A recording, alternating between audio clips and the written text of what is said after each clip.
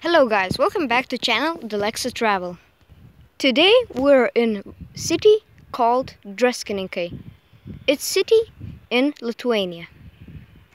So we have an island in the river and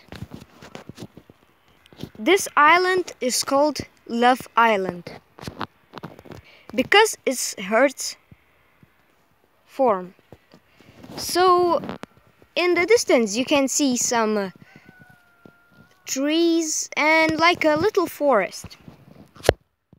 So now it's 10 plus and uh, spring is coming and summer is coming so thank you guys for watching this video. If you want to see more videos subscribe to the Lexa Travel YouTube channel.